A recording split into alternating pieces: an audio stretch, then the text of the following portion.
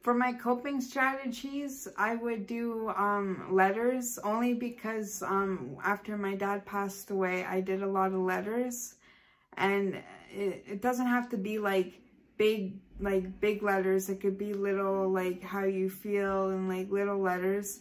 Or just, for me, faith. I know it sounds, a lot of people, well, we all have faith, but like, hope to know that everything will be okay and that I'll see my dad again because that's how I cope and I cope with um, talking to family and friends and people that are there for me and that's also how I cope.